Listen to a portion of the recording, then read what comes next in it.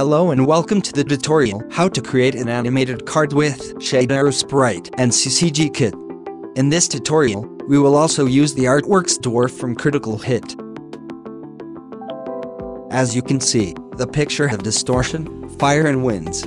In just one sprite, the result is fast and very useful. Let's create our shader. First, we need to set up the artwork into sprites. Use your favorite software to split the artwork. Save the pictures into PNG format with transparent. Now we can start creating our shader.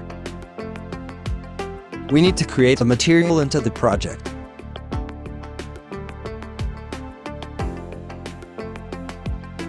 Share the created material to use your own material and create the shader or sprite shader. Add the shader into the material like this. And the material to your sprite renderer for a live preview. Great, the material and the shader are now connect. Let's create our first node, the build shader. Link the created shader to the build shader. Now, the shader will be automatically saved. We need to use the two artworks, the background and the dwarf. Right-click, go to Initialize and select New Texture. Right-click on the New Texture node and select Duplicate.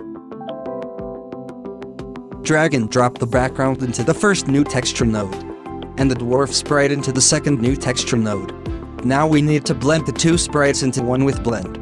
Right-click, go to RGB, with 2RGB and select Blend. Connect the RGB output from the background to the first input of the blend node.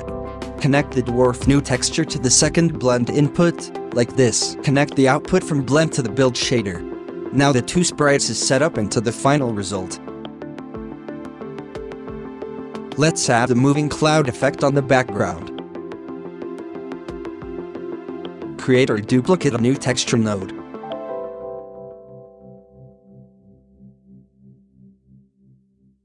Drag and drop a cloud texture on the new texture node. Now, we will add an addition node, in order to add the cloud texture on the background. Right-click RGB, with 2RGB and select Addition.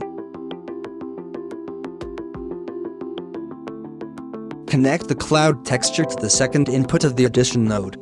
Connect the background to the first input of the addition node. Connect the output of the addition node to the first input of the blend node the preview node will be automatically removed. Now we will add a wind movement. For that, we will use the UV of the cloud new texture. Right-click, UV, Animated and select Animated Movement UV. Connect the UV to the new texture UV. Now, move the offset X to create a scrolling effect. Let's add a pinch effect to simulate a great distortion that surround the dwarf. Right-click, UV, FX, UV, and select Pinch UV. Connect the UV to the animated movement UV. Change the red intensity. If the movement is too fast, slow down the speed of the animated movement UV. Now, we will add a nice fire effect on the background between the dwarf and the cloud.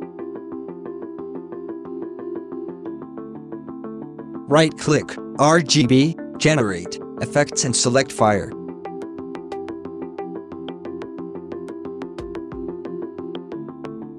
For a preview of this node, we can simply add a preview node like this. Connect the Fire RGB output to the preview node. Now, you have a preview of the generated fire effect. It's look awesome. We can change the precision, the position, the intensity, the speed. It's really a great effect. To simulate the fire colors orange and red, we will add a color gradient effect. Right-click, RGB, gradient and select Premade Gradients. Connect the fire node output to the Premade Gradient. Let's add a preview node. We will choose this gradient color, it's look perfect.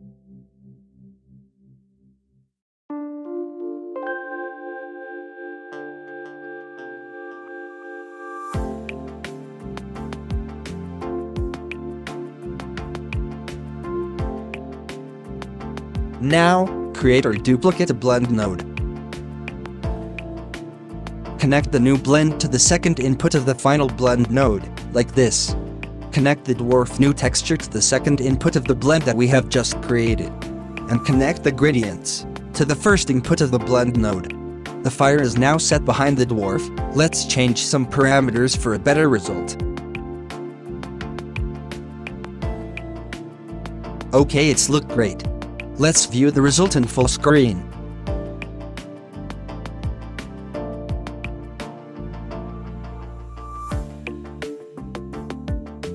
Now, it's look like a strong character.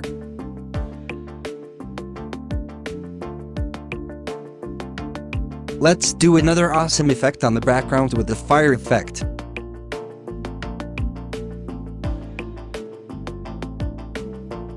For that, we will replace the new texture of the background with a source new texture. Let's delete the preview background node. Don't worry if the preview is pink it will be fixed soon when we connect all the node correctly. Now, we will add a displacement effect for the background using the fire as a reference. Right-click on UV, FX, and select Displacement UV. Connect the source with the source input of the displacement node, and the RGB output of the displacement node to the first input of the addition node. Now, let's connect the RGB output of the fire node to the RGB input of the displacement node.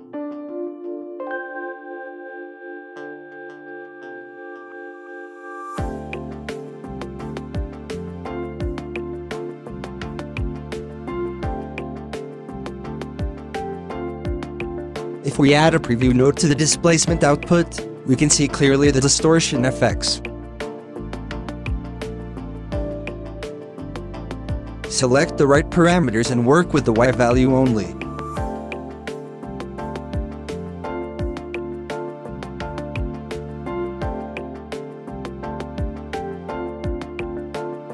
Now the background have a nice distortion effect that follow the fire movement. It's look really great now. Okay to finalize the shader, we will add a nice zoom and zoom out effect. This effect give a better look and intensity to the card.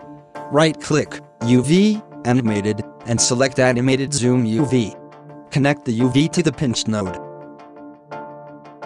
Also to the dwarf new texture node. And to the fire node.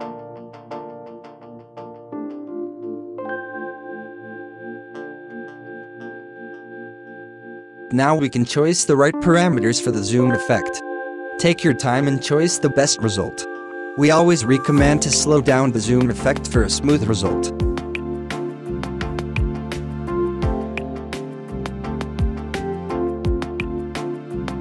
Card is now ready.